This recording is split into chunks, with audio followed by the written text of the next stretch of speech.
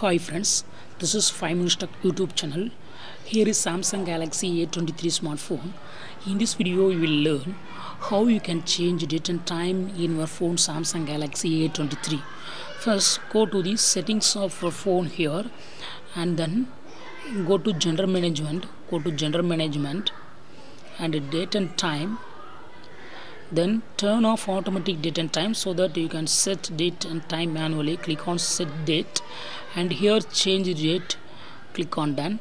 Set time. Click on set time and change timing here.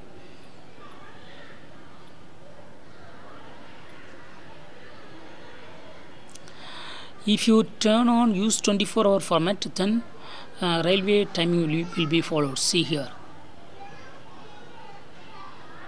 railway timing is available. 1510 is available.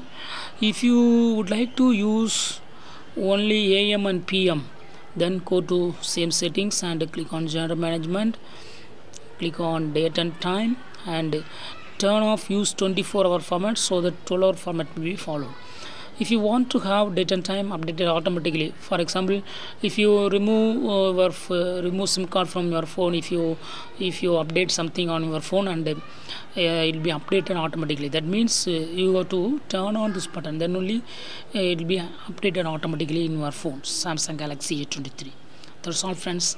Thanks for watching. Bye